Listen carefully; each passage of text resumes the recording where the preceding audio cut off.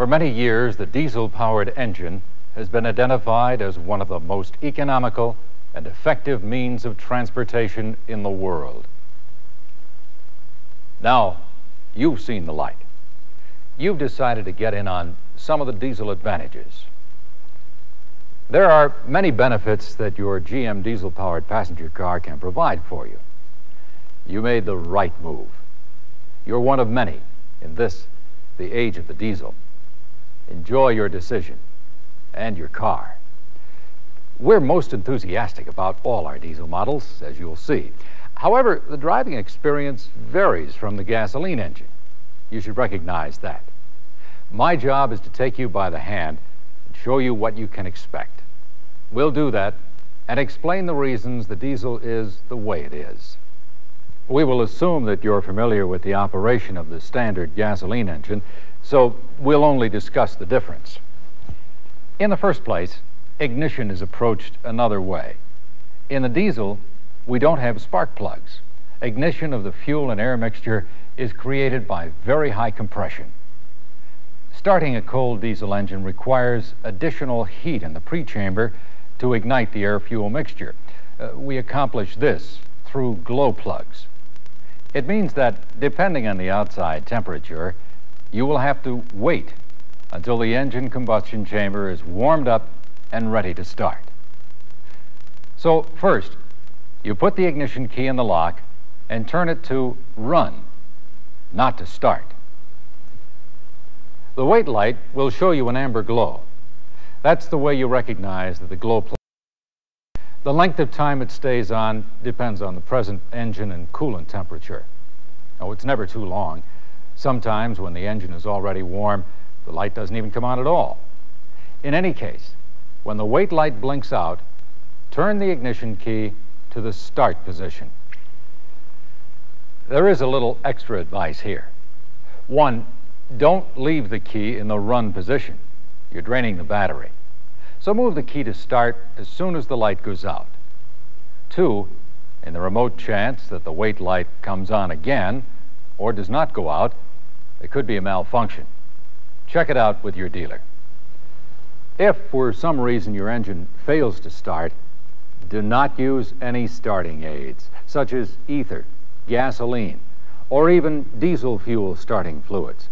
They will damage the engine. Go through the starting procedure again and look at your instrument panel lights. You'll notice there's another light marked water in fuel. It's a warning light designed to let you know when excessive amounts of water have been pumped into your tank. This can happen at the time of refueling. The light is also designed to come on briefly every time you start up. That means the light system is working. It will go out quickly if everything is okay. If the light stays on, however, chances are the system has water in it, and it must be purged. It is a specific procedure. Most of the time, it should be done at the dealership, although you can do it yourself if you carefully follow the directions described in your owner's manual. If the engine is operated with water in the fuel system, major damage to the engine could occur. For this reason, it is very important that the system be purged as soon as possible. The operation of a diesel engine is always affected by the weather in the areas where you're driving your car. Outside temperatures affect engine temperature. GM's fast glow plugs will cut the wait to start time to about six seconds at zero degrees Fahrenheit. If you're operating your diesel engine at extreme temperatures, frequently below zero, we recommend the diesel cold weather option. See your dealer for details. What fuel do you use in your tank? Sometimes that too depends on your location. Often, only number 2D diesel fuel is available.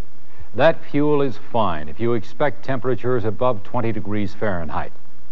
We strongly suggest that you do not use 2D fuel anytime the weather goes below 20 degrees Fahrenheit.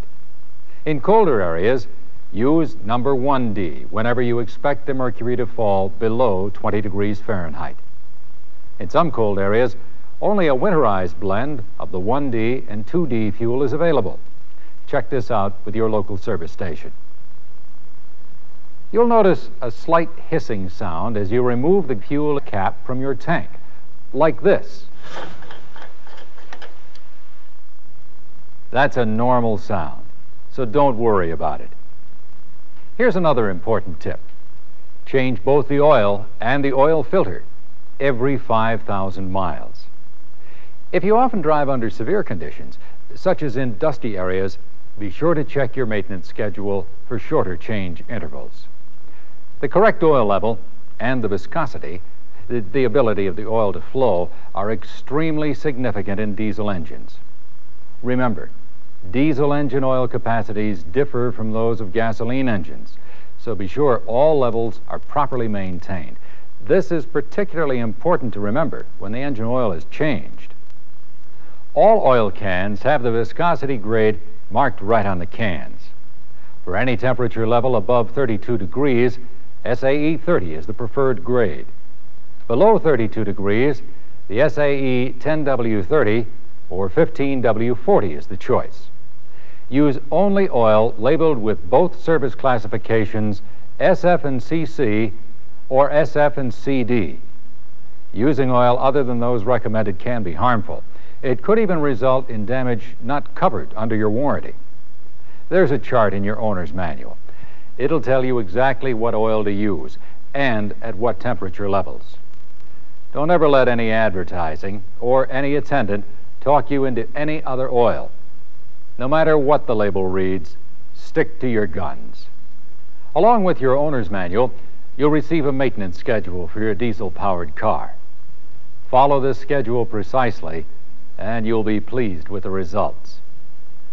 You're sure to notice that diesel engines do not sound the same as gasoline engines.